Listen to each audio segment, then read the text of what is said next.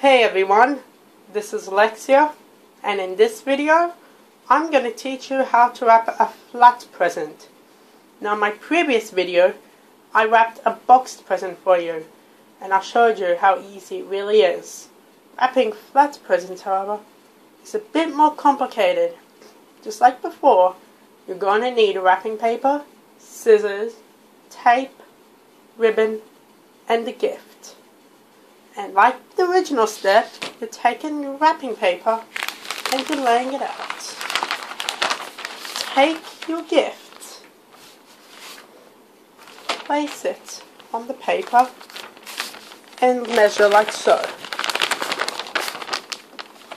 The, these are the steps that you use to wrapping any present and the materials never change apart from your gift. Even if you're wrapping an odd-shaped gift, the present requirements will be about will be unchanged. And as always, cut any excess paper so you get just as much you need. And then put it aside. Like I do with all my gifts. I'm putting it upside down on the paper. Like so. Take one end and I'm going to tape it onto the pet. I'm going to tape the, one end of the paper to the present. And just like I did with my last present, I'm folding it in, putting it on top.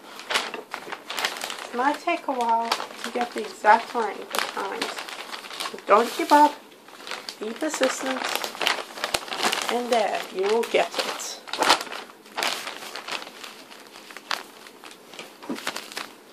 So just like all presents, you get the seam, which you're going to take so it stays firmly in place. It usually takes one piece. As I said, the longer the present, the more tape might be required to get it perfect. And also to try and keep it tight. Even if it's flat, you must keep it tight. Just like my other present, might, it's going to take me more than one because I have pretty big or pretty long presents. Now the sides can be a little complicated at times, but if it's too long, it's easier to trim away any excess at times. As long as you don't cut off part of the present. I'm going to do the old method no, I'm not. So you can do the old method of putting the sides in, but it complicates things a lot. I'm going to take the ends, fold them to make these two triangles here, and like I always do, make creases. Bring it up, and right now, I'm going to tape this up so it works much smoother bring it up, bring it down. Too much, it's too much paper. Fold it in first. Once folded in, fold it in, fold it up, like so. Then, then once you've done this, Sorry, messed it up already. Fix it. Once you've got this bit, because it's flat, it might take a while to get it right. Once you do it, you, you persist to taping. Make you persistent, and you're straight to taping it. And repeat on the other side like you always do. How do I access? Black presents are easier to remove most of the time. Be careful not to touch the presents or to get rid of too much. Okay, if you do get rid of too much, it's not a too big hassle as long as you can still fold it in. Not, you just try to push the present in a little. It's flat, but it doesn't really affect the gift wrap. Fixed it up, so then there's not much. Just do as big triangles as you possibly can. Fold in. Or if you have the applesauce the seam, tape the seam to make it easier.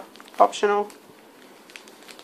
Fold it in to make it look just that neater. Then finally up and over like so.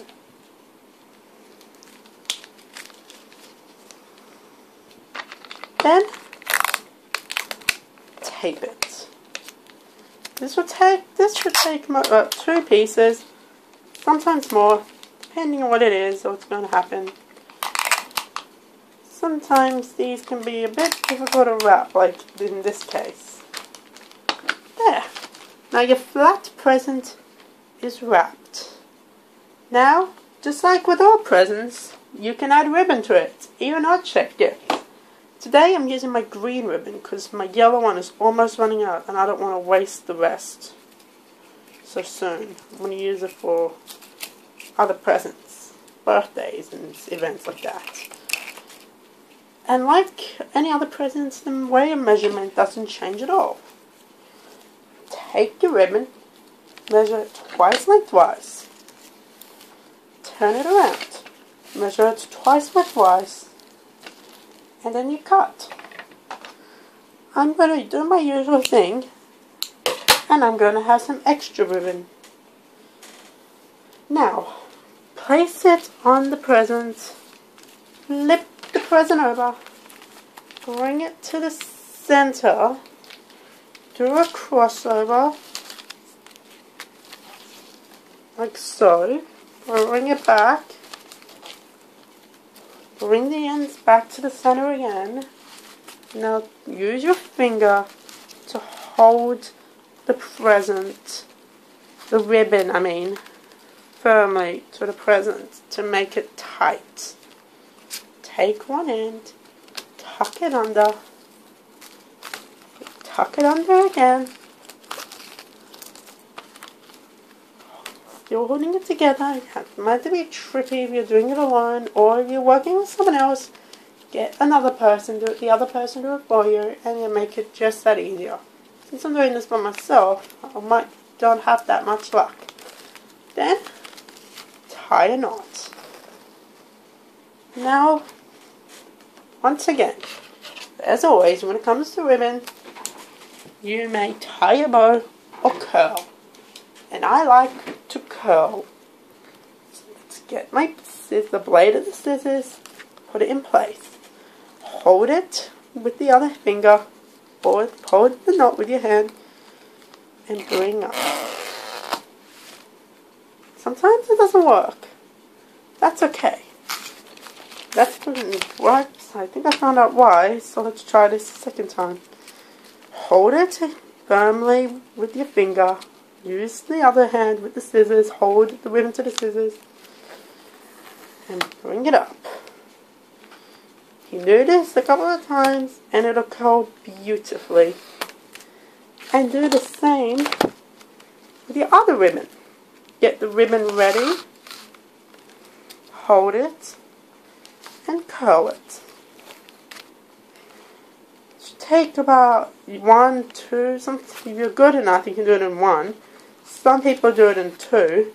I'm doing this in three slides to get my curls. And there it is. The flat present is officially wrapped and ready. if you use the time, if you if you use the time accordingly and just keep practicing, plenty of patience, do not give up, the more you try, the better you succeed. And eventually, you can be able to wrap about anything. Thank you for watching. See you guys next time.